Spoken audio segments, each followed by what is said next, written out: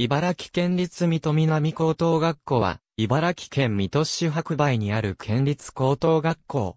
茨城県内で唯一、全日制の家庭と併設でない定時制の家庭と、通信制の家庭を置いている。公立の広域通信制高校は、全国で本校のみである。定時制の家庭と通信制の家庭の双方とも単位制による教育であり、生徒は必ず履修科目を除いて科目を自由選択することができ、特に第2学年以上の生徒は自分の興味や時間的な都合に合わせた時間割を作成して授業を受ける。茨城県内における生涯学習の一翼を担うことが期待されており、自校の生徒に対する教育の他にも、積極的な活動を行っている。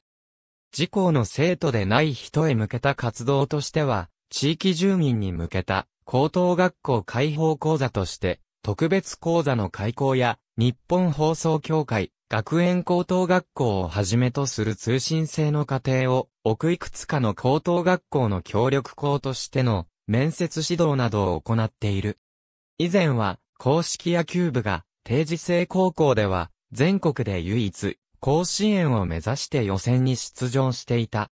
定時制の家庭と通信制の家庭があり、どちらの家庭も単位制による教育であり、修行年限は3年以上である。通信制の家庭における面接指導を行う協力校に茨城県立下妻第一高等学校がある。ありがとうございます。